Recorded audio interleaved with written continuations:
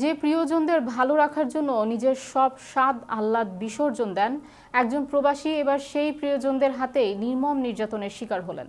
বিদেশ থেকে পাঠানো টাকা ফেরত চাওয়ায় মধ্যযুগীয় কায়দায় নির্যাতন করেছে শ্বশুরবাড়ির লোকজন।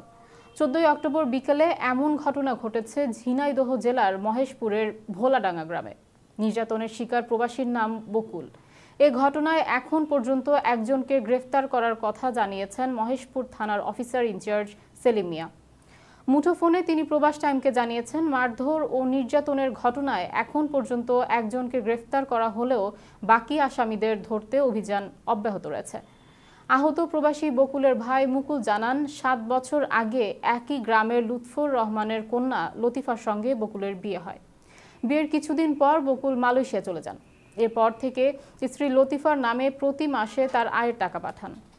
বিদেশ থেকে স্ত্রীর নামে প্রায় চব্বিশ লাখ টাকা পাঠানো হয়েছে এমন দাবি পরিবারের। তবে এরই মধ্যে তার স্ত্রী তার খালাতো ভাইয়ের সঙ্গে পরকীয়ায় জড়িয়ে বিয়ে করে।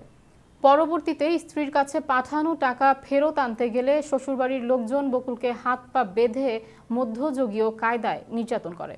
বর্তমানে তাকে যশোর হাসপাতালে ভর্তি করা হয়েছে।